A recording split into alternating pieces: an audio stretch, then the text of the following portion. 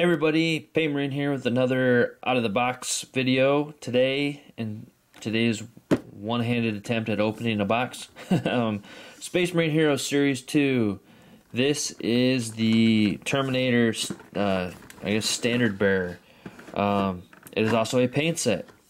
So I initially was just gonna, you know, whatever. I posted a picture up on the page. You know, got this in on Boxing Day, day after Christmas here. Uh, I was very excited. Uh, but there was a bit more to this set than I realized. Now, I knew it was a paint set, and you flip it over, and it shows you kind of everything that comes with it. Now, if you're familiar with paint sets before, um, they kind of don't give you like these full pots of paint and everything. Uh, you usually get kind of like a little smaller version that still has the same colors and all, um, but you know, it, it kind of is what it is there. So I was like, all right, yeah. Um, we will uh, kind of see how that goes. I wasn't really expecting anything as far as the paints go, because um, yeah. But anyway, so uh, we will open this up and you will kind of see what I'm getting on about here because I was a little bit surprised. Um, oh, and I actually had already opened it. So, uh, little card thing, and then I actually already took it out, but here is like the character card that comes with it. Um, so there's that and then you have your uh, instructions here with also I believe it has the um, kind of how to paint. So you have all your uh, the Space Marine heroes in here. And it kind of goes through them here. Um, some interesting kind of artwork here all Blood Angel style although the actual models themselves do not have any iconography specific to Blood Angels but then you kind of have your you're gonna go to how to paint. So very, very cool. Now, next we have the actual figure.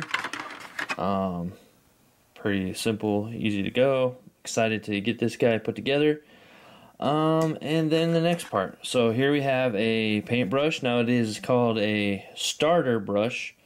Um, so I'm not really sure kind of what size you would call this. Probably um, let me see here. It looks to be equivalent to a small layer brush. It's kind of like grabbing my small layer. Um, so it seems to be, yeah, it looks about the same as a small layer brush um, on the Citadel end of things. Oops. But this is the thing that surprised me. Regular size pots of paint. Like I did not expect this at all. Um, it's definitely a welcome surprise. So Abaddon Black. Uh, what else we got here? White Scar. Um, Iron Breaker. These are kind of stuck in there pretty decently. Uh, Evil Sunz Scarlet. Mephiston Red. Um, Agrax Earthshade, the original kind of smaller version, not the tall tall pot. Uh, what do we got here? Retributor armor. Cadian flesh tone. Ah, come on. Uh, what do we got here? Carroburg Crimson, another shade. Another shade, uh, Casandora Yellow. Warpstone Glow.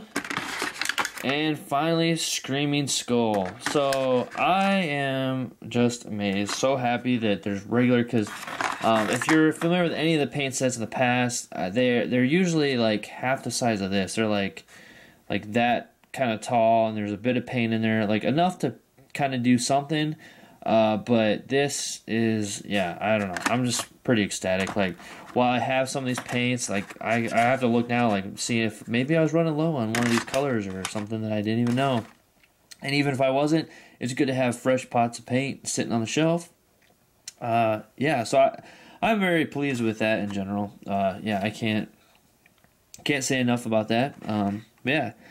Anyway, so let's take uh, just another quick look here at the sprue. And as you can see, uh, pretty cool standard, um, but no iconography on it whatsoever, as well as the shoulder pad and the rest of the armor and such. So you can definitely, um, you know, make him up to be whatever you want. uh, yeah, I don't know. So I am very excited about getting into these guys and making them part of the Red Brethren for my Carcharodons. They're gonna look just amazing. Um, so yeah, I don't know. Can't can't wait. So if you get a chance to pick this up, hopefully the Series Two is gonna make its way over the states because they're just amazing, lovely models. Um, I can't say enough great things about them. I'm definitely hands and feet, whatever you want to say, above Series One in just about every way just more excited because I've always loved Terminator models, but they're the the kit we have now is just so dated and needs an update that these are just so refreshing to see and have. So, all right, well, thank you for watching. This is pretty quick, down and dirty. Love the model, love the kit, love the set here. So, um, yeah, if you get a chance, definitely pick them up. Um, yeah, so, um, yeah, so anyway check out the rest of the YouTube channel, check out the Facebook page, like, subscribe, share, comment, all that, and until next time.